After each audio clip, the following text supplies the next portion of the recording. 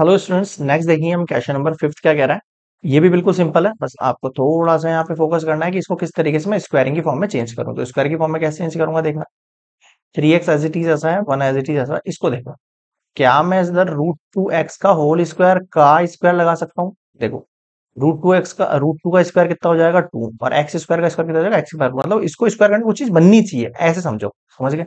अब आपको पता है कि इसका तो फॉर्मूला हमें पता है। लेकिन ये वाली वैल्यू कैसे सेपरेट होगी, उसको लेट करना पड़ेगा आपको।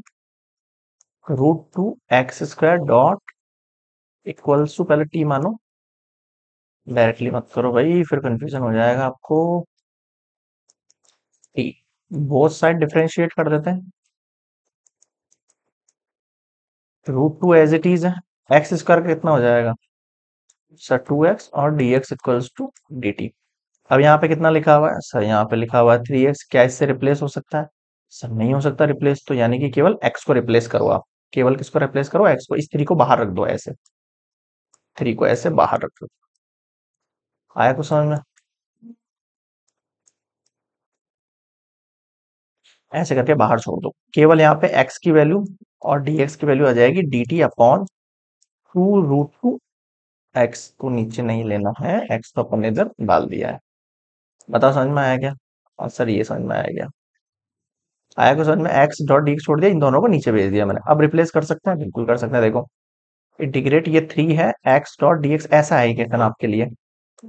One square plus root two x square का स्क्वायर तो इसको मैं कैसे छोड़ूँगा? एक्स डॉट डी एक्स क्या हो जाएगा मेरे पास? डी टी ये मैं यहाँ लिख देता हूँ। D t upon two root two और ये हो गया आपके पास वन अपॉन, इसकी वैल्यू वन का स्क्वायर और इसको मैंने क्या माना है टी तो ये टी का स्क्वायर ये कांस्टेंट है, सारे बाहर रख दो।